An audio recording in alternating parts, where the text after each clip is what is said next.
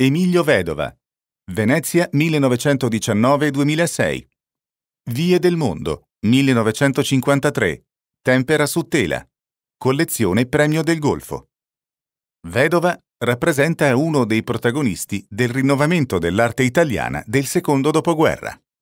Questo dipinto è particolarmente importante perché è uno dei primi saggi della sua ricerca astratto-informale, molto particolare e distintiva per l'irruenza e la dominanza della componente gestuale, affine per certi versi all'action painting statunitense, e per l'impiego di una gamma cromatica ristretta.